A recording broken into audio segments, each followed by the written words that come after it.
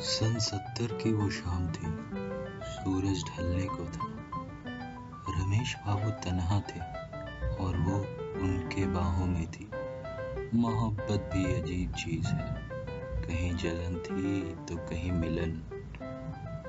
उन पहाड़ों से एक झरना गिरता था।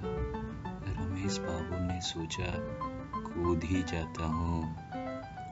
चाँद भी शबाब अजय और तारा बस एक दूसरे को देखते ही रह गए कि पता ही नहीं चला कब आँख लग गई। रमेश बाबू के मस्तिष्क का आग ठंडा होने का नाम ही नहीं ले रहा था